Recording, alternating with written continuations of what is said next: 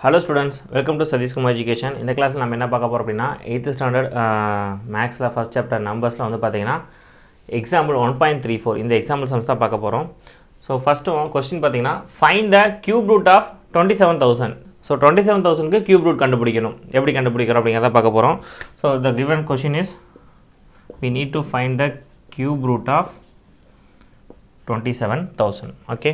Using prime so twenty seven thousand okay இந்த number எதால் divide ஆகும்னு சொல்லி பார்க்கணும். யூசிங் டிவிசிபிலிட்டி ரூல்ஸ் லாஸ்ட் எல்லாமே ஜீரோவாக தான் இருக்குது ஸோ நமக்கு தேவையில்லை. அந்த டுவெண்ட்டி செவன் மட்டும் எடுத்துக்கலாம்.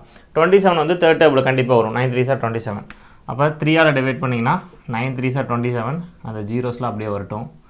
ஸோ அகைன் த்ரீயால் பண்ணால் three three sir nine so again த்ரீயால் பண்ணால் one three is three okay so இப்போ தௌசண்ட் த்ரீயால் டிவைட் ஆகும்னா கண்டிப்பாக ஆகாது. அப்போ டூவால் டிவைட் ஆகும். ஏன்னா இது ஒரு ஈவன் நம்பர் டூவால் டிவைட் பண்ணால் five two sir ten zero again டூவால் பண்ணால் two two sir four remainder one five two sir ten இரநூத்தம்பது இன்ட்டு ரெண்டு ஐநூறு.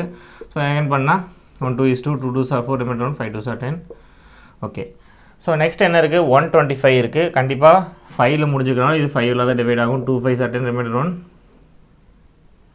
remainder two five five are twenty five again five all பண்ணால் five five are twenty five again five ஃபைவால் பண்ணும்போது one five is five okay so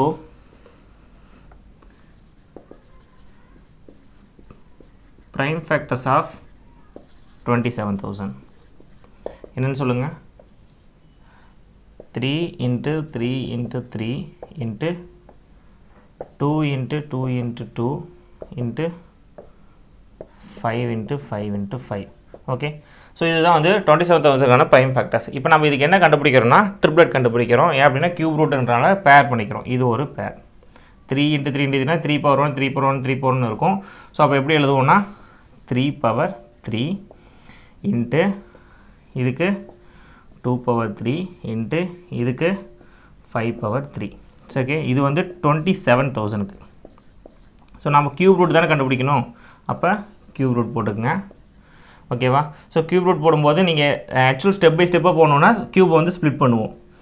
Three cube cube into two cube cube into five cube அடுத்த step என்ன ஆகும்னா க்யூபும் cube route cancel ஆகும்.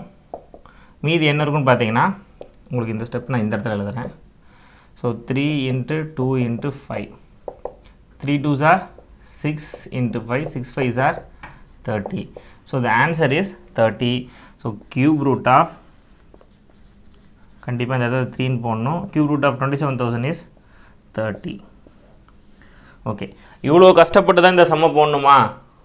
இது one மார்க்கில் கேட்டாங்கன்னா என்ன பண்ணுறது எப்படி இந்த சம் போடுறது? சிம்பிளான விஷயம். டுவெண்ட்டி செவன் தௌசண்ட் கண்டிப்பாக சொல்யூஷனில் த்ரீ ஜீரோஸ் இருந்ததுன்னா கியூப் ரூட் கண்டுபிடிக்கிறதுக்கு முன்னாடி ஒரே ஒரு ஜீரோ இருந்திருக்கும். அப்போ ப்ராப்பர்ட்டிஸ் ஆஃப் கியூப் நம்பர்ஸ் நம்ம பார்த்துருப்போம். இதுக்கு பதிலாக நம்ம என்ன ரீப்ளேஸ் பண்ணோம்னா ஒரே ஒரு ஜீரோ போட்டுக்கலாம். இப்போ டுவெண்ட்டி செவன் கூட நீங்கள் கண்டுபிடிச்சா போதும். Three three sir nine nine three sir twenty seven அப்போ த்ரீ தான் வரும் அப்படின்னு சொல்லி நம்ம மெமரி பண்ணியிருப்போம். Thirty answer so answer thirty step by ஸ்டெப்பாக போனால் ஃபஸ்ட் நீங்கள் ப்ரைம் ஃபேக்டரைசேஷன் கண்டுபிடிச்சி ப்ரைம் ஃபேக்டர்ஸ் எழுதி அதுக்கப்புறம் அதை ட்ரிப்ளெட் பண்ணி அது கியூப் ரூட் எடுத்து கியூப் ரூட் ஸ்ப்ளிட் பண்ணி கியூபையும் கியூப் ரூட்டி கேன்சல் பண்ணி இருக்கிறத மல்டிப்ளை பண்ணி நீங்கள் ஆன்சர் கண்டுபிடிக்கலாம். இல்லை ப்ராப்பர்ட்டிஸ் யூஸ் பண்ணால் நம்ம இந்த மாதிரி கண்டுபிடிச்சிடலாம். இப்போ தெரியுது உங்களுக்கு ஏன் ப்ராப்பர்ட்டிஸ் எல்லாத்துக்குமே வருது? ஏன் அதை யூஸ் பண்ணுறேன்னு சொல்லிட்டு ஸோ ஒன் மார்க்கில் கேட்டாங்கன்னா நீங்கள் இந்த மாதிரி சிம்பிளிஃபையாக ப்ரா ப்ராப்பர்ட்டிஸ் வச்சு நம்ம ஆன்சர் எழுதிக்கலாம். ஓகே ஸோ இந்த கிளாஸில் வந்து பார்த்திங்கன்னா ஒரே ஒரு எக்ஸாம்பிள் சம் தான் பார்த்துருக்கோம் பட் இருந்தாலும் எனக்கு சாட்டிஸ்ஃபைடாக இருக்குது ஏன் அப்படின்னா அந்த ஒரு எக்ஸாம்பிள் சம் உங்களுக்கு கிளியராக சொல்லி தந்திருக்கிறேன் அப்படின்னு சொல்லிட்டு ஏதாவது டவுட்ஸ் இருந்தால் கேளுங்க. நம்ம அடுத்த கிளாஸில் அடுத்த சம் பார்க்கலாம். Tata bye by